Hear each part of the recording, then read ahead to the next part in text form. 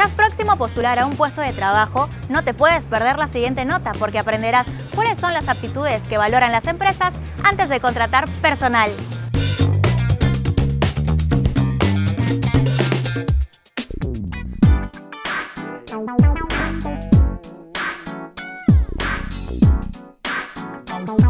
El mercado laboral es cada vez más exigente y las empresas piden demandar a sus empleados nuevas habilidades para contribuir al crecimiento de la organización.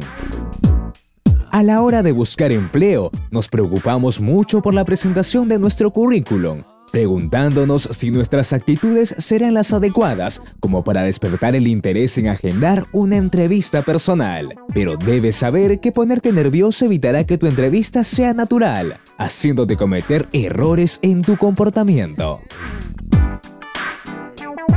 Las principales actitudes que debe tener un postulante ¿no?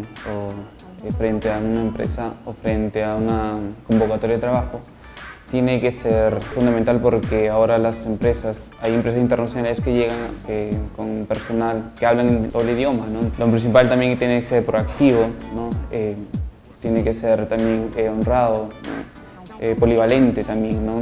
aparte del área que, tiene, que, que sabe, que maneja, tiene que también diferenciar a otras áreas ¿no? manejables. El lado humano, más allá de la experiencia o los conocimientos técnicos, será otra de las actitudes que más valorarán los responsables de recursos humanos. En orden de importancia, la actitud se encuentra en primer lugar, seguida de la experiencia y la formación.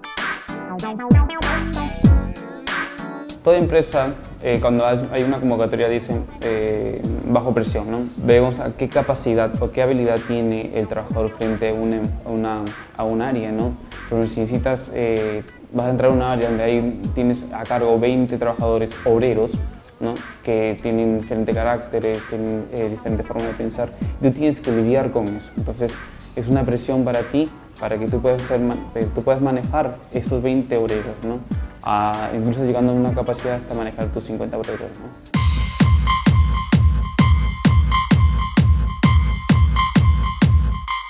El negativismo y las actitudes pesimistas son contagiosas y pueden transmitirse de un colaborador a otro, estas actitudes pueden provocar desconfianza, problemas, peleas, pérdida de compromiso e incluso disminuir la participación de la plantilla en los proyectos de la organización. No ser tan perfeccionista, ¿no? ser tan eh, eh, confiado. Siempre tener una especie de defensa donde tú puedes eh, hoy pensar bien las cosas frente a una situación de laboral que se pueda dar. ¿no?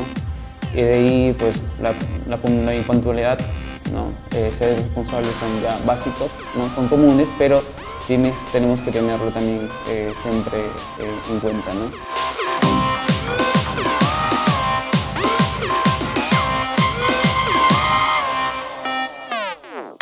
Vemos la, capacidad que ellos tienen de desenvolverse, ¿no? cómo, cómo maneja un escenario frente a una entrevista. ¿no? Porque tú no vas a lidiar con una máquina, eh, vas a tener que tener contacto con, personas, ¿no? Eh, lidiar con eso, una buena comunicación. ¿no? Eso es lo más importante que nosotros vemos en una entrevista, ¿no? aparte de la capacidad laboral eh, y de las habilidades laborales que ha, venido desempeñando, ¿no? dependiendo del perfil que busca cada empresa. ¿no?